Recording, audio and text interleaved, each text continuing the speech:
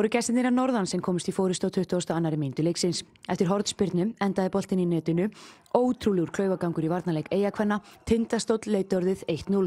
Íbjá fekk svo döðafæri skömmu setna. Olga Sevkova einn gegn Amber í markinum en Amber Kristín gerir vel varði skotið. Olga hefði geta gert betur þarna en það kom ekki að sög þar sem að Íbjá fjallt pressunni áfram og í næstu sók skoraði Þóra Björg Stefánsdóttir fyrir eigakonur. Staðan orðin jöfn 1-1. Þannig stóði leikar í háleik en aðstæður á Hástegsvelli buði ekki upp á fallegan fókbólta í dag. Liðin gerði sitt besta til að spila sem bestan bolta og voru eigakonur komnar í fórustu eftir klukkutíma leik.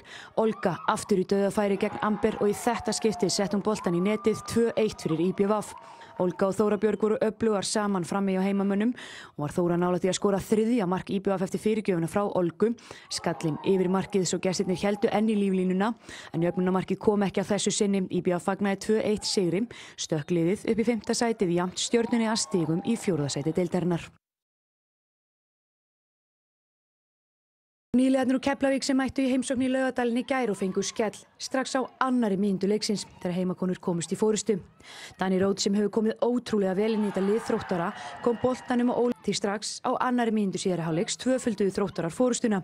Gestinum úr Keflavík tókst ekki að setja mark sitt á leikin í laugadalinnum í gær. Heimakonur skoruðu þrið á síðasta markleiksins á loka mínundu vennilegs leiktíma Guðrún Gíða Haralds með markið. 3-0 lokatölur í þessum leik og stökk þróttur upp í þriða sætið. Keflavík sem fyrr í fallsæti deildarinnar. Inni frá Selfossi byrjuði betur í gær og komist yfir snemmaleiks með marki Katie Heap. Selfoss hefur unnið aðeins einn af síðustu nýju leik aðvelin í leiknum, náði stjarnin ekki jafna metin fyrir ný setni hálfleik. Þar var að verki Úlfatís Úlfarsdóttir sem var að spila sinn síðasta leik fyrir stjörnuna í byli þar sem hún heldur brátt til bandaríkjana í háskóla.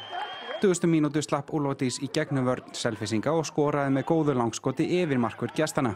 Sigurinn var sangjarn og Úlfatís hveður við lið sitt í þriðasæti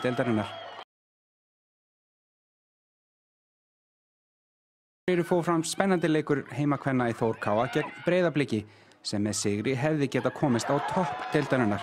Agla Maria Albertsdóttir kom blik upp strax yfir á 50 mínútu en Colleen Kennedy jafnaði metin stuttu síðar.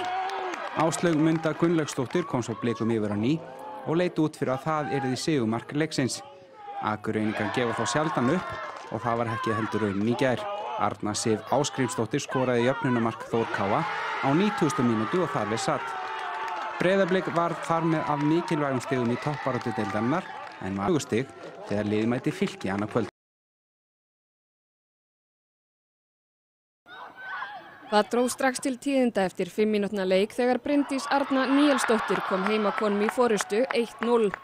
Valur fekk hortspyrnu skömmu síðar og mist Edvardsdóttir jafnaði metin 1-1.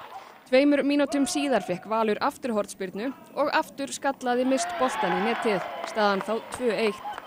Á 17. mínútu var það svo Særa Mackenzie Hintsen sem kom vali 3-1 sem voru hálfleikstölur. Á 77. mínútu átti Ástís Karin Haldósdóttir svo skot á markfylki sem Tinna Brá Magnúsdóttir hefði átt að verja en misti boltan inn og staðan því 4-1. Elín Metta Jensen rak svo smiðshöggið fyrir valskonur þegar hún skoraði í uppbótartíma og niðurstaðan fimm eitt sigur Vals. Valur